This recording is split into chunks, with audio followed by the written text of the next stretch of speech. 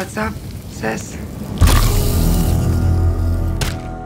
I had the most beautiful dream. It was the perfect day. And all I could think about was how much I wanted to cut you all open and then climb inside your bodies. so that we could stay one happy family.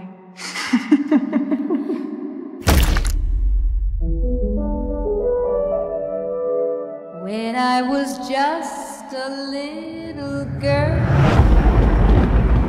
I asked my mother, What is this, Danny? I found it. What will I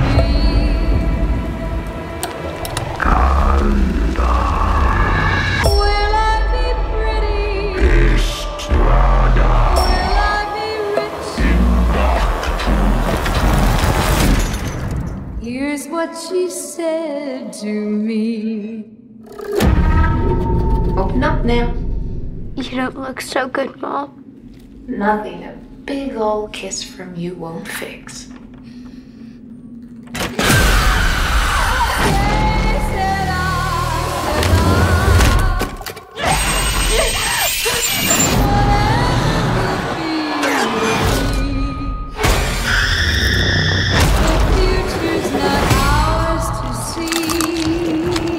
I'm getting us out of here. I promise. You'd be a good mom someday, Hannibal. Uh, oh, yeah? Yeah, you know how to lie to kids.